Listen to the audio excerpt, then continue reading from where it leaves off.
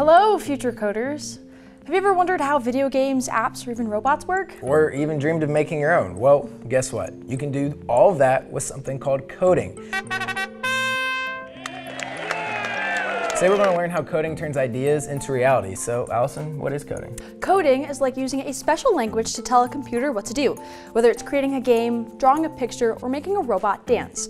Code is how we communicate with computers. Just like we use words to talk to each other, we use code to talk to computers.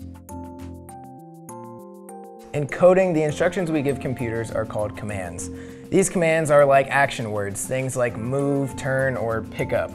By putting commands together, we can make the computer do all sorts of cool and fun things.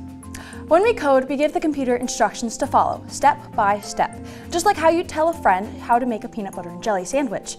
For example, commands are like saying, put the bread on the plate, or spread peanut butter on one side of the bread. Each command is a simple instruction, and when we combine them, they create something amazing. Now that we know what commands are, let's talk about sequencing. Sequencing means putting those commands in the right order. In coding, the order of steps is super important. Imagine trying to put the bread slices together before spreading the peanut butter and jelly. Uh, yeah, that wouldn't work. so first we spread the peanut butter and then we spread the jelly and finally we put the slices together. That's sequencing in action. Now let's talk about algorithm. An algorithm is like a recipe that lists all the steps needed to make something. Here's our algorithm for making a PB&J sandwich. First, take two slices of bread.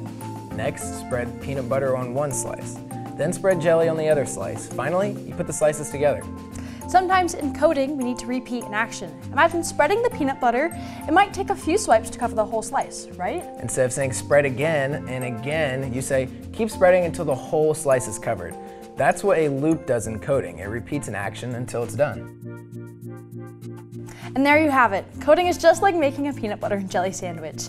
You start with clear commands, follow the right sequence, use an algorithm to get the job done, and even add loops to repeat actions. Now that you know the basics, you're ready to start coding. And the best part, you can start practicing coding right now, even without a computer.